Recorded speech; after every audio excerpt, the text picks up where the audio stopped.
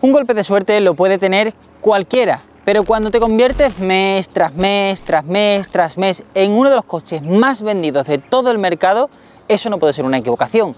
Y es que Toyota hace los mejores coches híbridos a la venta. El Toyota Corolla es el rey de su segmento en esa parcela. Y en este vídeo te voy a enseñar cómo es la versión tope de gama.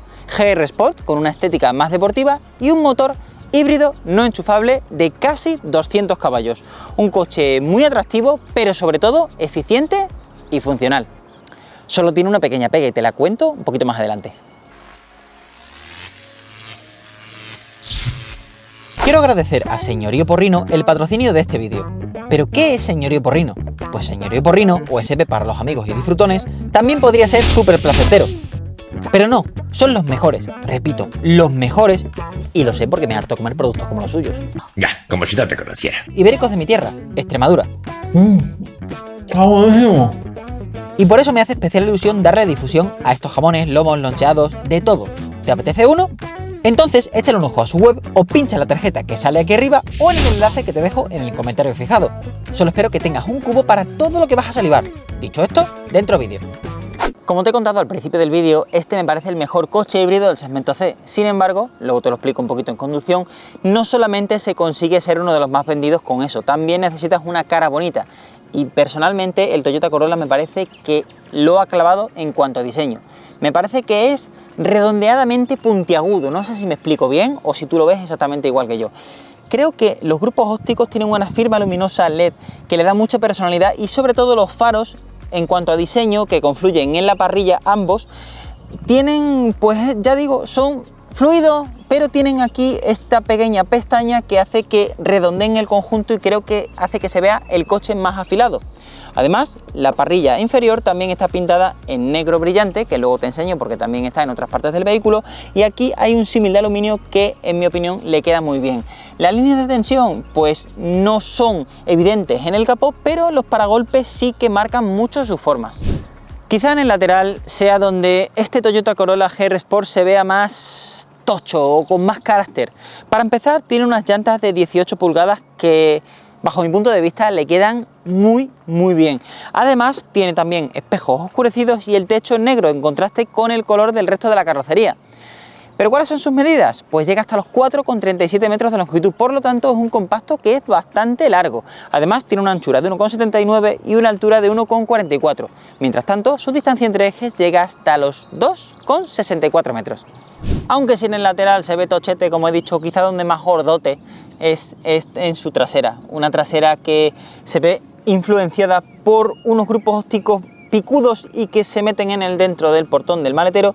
Y también tiene un símil de difusor que le queda muy bien en el mismo negro brillante que tiene el techo. Y además no tiene escapes a la vista por lo tanto no tiene molduras que le hagan pretencioso o quieran hacerle parecer algo que realmente no es Igualmente también hay un spoiler encima de la luneta que le queda muy bien y el logo de Toyota justo aquí en el centro. Ah, y la chapita de GR Sport. En el interior del Toyota Corolla está muy bien hecho. Me encantan sus asientos. En esta versión deportiva es que son específicos y se nota mucho, ya que agarran muy bien el cuerpo a nivel lateral. También las piernas están terminados en un cuero micro perforado y además tienen costuras rojas. Y no solo eso, sino que también son muy cómodos y tienen calefacción, los dos delanteros. El volante es redondo por completo, otra cosa que me encanta, y tiene botones físicos, más cosas que me gustan. Además, las levas son muy ergonómicas, aunque yo las hubiera fabricado en otro material que no fuera plástico, pero lo considero una nimiedad teniendo en cuenta lo bien que está el puesto de conducción. La pantalla del sistema de instrumentación no es configurable más allá de cambiar los coloritos en función del modo de conducción que elijas, pero es clara, concisa, tiene buenos gráficos y refleja toda la información de una forma sencilla. Sinceramente, la ves al primer golpe de vista. Y lo mismo ocurre con su head-up display, que proyecta en el parabrisas toda la información relevante a la conducción, como sobre todo la velocidad. Vamos ahora con la parte de la consola central. Y es que tiene una pantalla de 10 pulgadas y media, una pantalla que ha cambiado su sistema de infoentretenimiento en relación a versiones anteriores y que ahora tiene mucho mejores gráficos, es más intuitiva, está simplificado el sistema, además la conectividad con Android Auto y Apple CarPlay es completa, sobresale bastante del salpicadero, me gustaría que tuviese una mejor integración, pero no da la sensación de ser en absoluto endeble. Y es que todos los ajustes de este coche están muy bien hechos, da la sensación de que con el paso del tiempo aguantará muy bien. Igualmente cuenta con botones físicos para el sistema de audio única y exclusivamente debajo de la pantalla, puntazo ahí, y también para la climatización justo debajo de las toberas. Aquí puedes subir, bajar la velocidad de ventilación, elegir por dónde sale el aire, subir o bajar la temperatura con ruletitas. Entonces, la ergonomía, muy bien. Tiene, eso sí, toques de negro piano alrededor del mismo y también por esta parte. Es un material que me parece horrible por que se raya con facilidad, que es un imán para las motas de polvo, para las huellas de los dedos. Es verdad que es testimonial lo que está en este habitáculo, pero a verlo, haylo.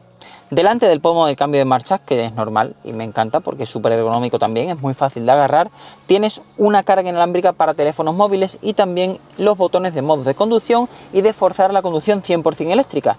Aquí está el freno de mano eléctrico y también doble portavasos. Y en lo que respecta a la guantera central, hay un puerto USB de tipo C, una toma de 12 voltios y un espacio que no es especialmente grande, pero lo que yo suelo guardar aquí, que son las la cartera, las carteras, ya me gustaría tener varias para darle rienda suelta a todo mi dinero. La cartera, las gafas de sol y las llaves te caben. Aún así, la guantera principal es grande, tiene un muy buen tamaño y los huecos de las puertas también. Ah, y hay un sistema de audio firmado por JBL que suena muy, muy bien. El acceso a las plazas traseras exige agacharse un poquito, ya que no es un coche precisamente alto, y la apertura de la puerta creo que no está nada mal, pero podría estar un poquito mejor, se quedan más o menos unos 80 grados, aún así el hueco es grande. Y esto, bueno, pues siempre hace que sea un poco más fácil. En la puerta me gusta que no haya un hueco al uso que al final no se acaba usando para nada. Y es que hay un portavasos en la parte donde reposa el brazo o el paño de la puerta. Y creo que es más funcional. Los asientos también son muy cómodos, por lo menos en lo que respecta a los laterales y también hay un reposabrazo central con doble portavasos sin acceso al maletero. La plaza central, bueno, pues me parece aprovechable por comodidad, sin duda alguna. Es casi, casi tan cómoda como las laterales. Esto tiene mucho mérito teniendo en cuenta el reposabrazos, ya que normalmente el mullido aquí suele ser inferior, pero aquí no pasa. Eso sí, por anchura considero que irán mejor dos adultos aquí. Y es que en las plazas laterales tengo aproximadamente 10 centímetros para las piernas y para la cabeza no me sobra prácticamente nada. Creo que alguien de hasta 1,83, 84 metros de altura, teniendo en cuenta que yo mido un 80 y el asiento delantero está colocado para mi posición, iría cómodo en estas plazas traseras, en donde no hay salida de climatización independiente ni puertos USB, simplemente un hueco aquí en la parte de la consola central y también otro hueco aquí para guardar documentos. Y en lo que respecta al túnel de transmisión, pues no es ni muchísimo menos molesto para los pies, ya que es bastante bajito, un poco ancho, eso sí, pero bajito. No me quiero olvidar tampoco del techo panorámico que llega hasta aquí atrás y eso hace que la sensación de amplitud y luminosidad en el habitáculo sea top. En cuanto al maletero, llegamos a la parte que te comentaba al inicio del vídeo que es su principal handicap. Y es que en esta versión 200H tiene una apertura completamente manual, lo cual no es una mala cosa, pero sí que ocurre que la envergadura llega hasta los 313 litros de capacidad. Esto le sitúa más o menos a la altura de un segmento inferior. Además, si abates la fila de asientos posterior, que siempre tienes la opción, puedes llegar hasta los 1004 litros. Hay un pequeño doble fondo en donde caben algunas cosas, pero esto ocurre porque tiene que dar cabida a las baterías. Aún así, cuenta con utilidades como bolsillos en las partes laterales, anclajes para una red de carga o ganchos para un equipaje que tenga asas como por ejemplo bolsas o mochilas. En conducción, el Toyota Corolla GR Sport con 196 caballos de potencia consta de un sistema de propulsión formado por dos motores. Uno de combustión, de gasolina, 2.0 de 4 cilindros con 152 caballos y el otro eléctrico con 113. En conjunto entregan, como te he dicho, 196 caballos de potencia y 206 Nm de par motor máximo. Para un coche que pesa 1460 kilos como este, que siendo un vehículo híbrido con una batería que por cierto tiene 0,91 kWh de capacidad, no me parece en absoluto mucho. Hay coches más pesados incluso solo con motor de combustión y esto hace que dinámicamente se desenvuelva bastante bien. tiene un traslado de la suspensión enfocado al confort, pero con cierta firmeza. Aún así, es un coche muy cómodo. Filtra bien todas las irregularidades que se va encontrando según vas encontrándotelas a tu paso. Y no importa si son baches, badenes, mm, cambios de apoyo, tampoco balancea mucho y es que su relativa ligereza ayuda mucho a ello. Además, también tiene una dirección con un nivel de filtrado correcto para el planteamiento que tiene. Y esto quiere decir que transmite digamos que en una, se sitúa en una media en la categoría entre la asistencia de la dirección, lo cual facilita mucho el aparcamiento y el serpenteo entre el tráfico, y también el decirte qué hay debajo de los neumáticos, qué está ocurriendo. Creo que, ya digo, dinámicamente es un coche que va bastante bien, además su aislamiento está muy conseguido tanto por rodadura como por sonido de motor con una pequeña salvedad, ahora te explico cuál, y también de lo que suena del de viento chocando con los espejos, con la carrocería, etcétera, incluso a velocidades de autopista. Y esto en un segmento C, pues está muy bien. Con esa combinación y ese mejunje mecánico, el coche acelera de 0 a 100 en 7 segundos y medio y alcanza 180 km por hora de velocidad punta.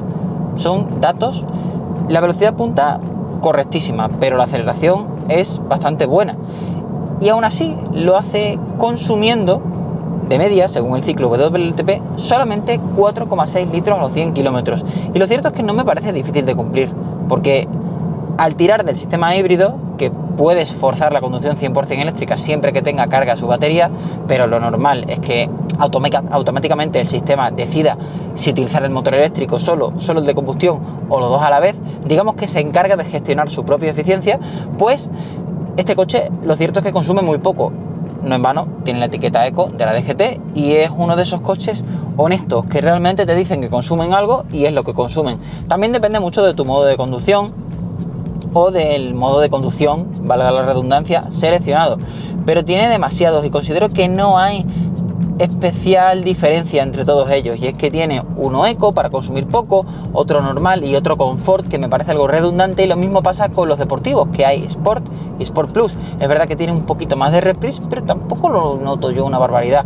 Sí, es verdad, da la sensación de que corre más, pero entre el Sport y el Sport Plus, no sé. Y luego tiene otro donde te permite configurar todos los parámetros relativos a la conducción, como la respuesta del acelerador, de la dirección, el cambio, el cual te permite cambiar de forma secuencial a través de unas levas que tiene detrás del volante, que son de plástico duro. Me parece que están bien hechas, aunque yo lo hubiera, las hubiera hecho de otro material, sobre todo teniendo en cuenta que el coche tiene una calidad generalizada y de ajustes muy buena, pero son muy, muy ergonómicas, tanto por tamaño como por forma. Y la salvedad del el ruido de este coche se sitúa en su transmisión, una transmisión automática que ya sabes que las transmisiones automáticas de Toyota funcionan de una forma extraña, maximizan la eficiencia y hacen que el coche consuma muy poco. Pero lo que ocurre es que cuando tú necesitas una aceleración más fuerte, ya sea en una incorporación en la autopista o probablemente adelantando en una carretera secundaria y pisas el pedal del acelerador de una forma con decisión, pues lo que hace es intentar regular las revoluciones del motor a la velocidad del coche. Y hasta que lo consigue el motor se revoluciona bastante. Y esto hace que pase como en una moto scooter, por ejemplo, siempre me gusta recurrir a ese símil porque es muy gráfico.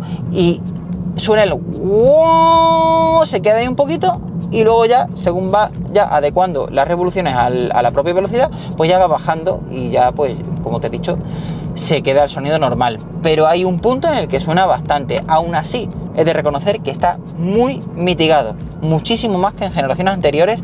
Y no solo eso, sino también que en otros modelos del mercado que también tienen este tipo de transmisión. Y bueno, pues eh, la comodidad o la sonoridad hay mucha diferencia, la verdad. Por último, comentar también que su visibilidad, es muy buena. Es verdad que los espejos no son demasiado grandes, ni los laterales ni el, de, ni el central, pero bueno, considero que para un coche de su tamaño, pues cumplen a la perfección. Y una cosita más, Toyota tiene tan pulidos sus coches híbridos que el tacto del freno se siente súper natural. Esto quiere decir que todo el recorrido del freno está lleno y no notas que haya un poquito muerto hasta que ya pisas de una manera importante y te dé el frenazo como sí que pasa en otros modelos ya no híbridos, sino microhíbridos, es decir, electrificados, en donde, bueno, pues hay que trabajar un poquito más ese aspecto. A Toyota no le pasa. El Toyota Corolla se ofrece en diversos acabados y motorizaciones para que puedas elegir entre los que tú quieras. Por una parte está la versión 140H con 140 caballos a partir de un sistema de propulsión híbrido no enchufable, al igual que este, el 200H, con 196 caballos. Además puedes elegir entre diversas terminaciones como son los Active Plus, Style Plus, Business o este GR Sport, que es el tope de gama. Y también hay dos carrocerías, este hatchback de 5 puertas y otro con 5 puertas pero en variante familiar llamado Touring Sports. En cualquier caso, los precios comienzan desde un poquito más de 25.000 euros y llegan hasta los casi 35.000. Esta unidad que estás viendo en el vídeo sale por aproximadamente 30.500 euros. Sin duda es un coche tecnológico, cómodo, funcional y sobre todo muy eficiente y a mí me parece muy atractivo. Pero ahora es tu turno, dime qué opinas sobre el nuevo Toyota Corolla GR Sport aquí debajo en los comentarios. Dale me gusta si te ha gustado este vídeo y suscríbete a este canal de YouTube, Holycast TV, para ver las mejores pruebas de coches.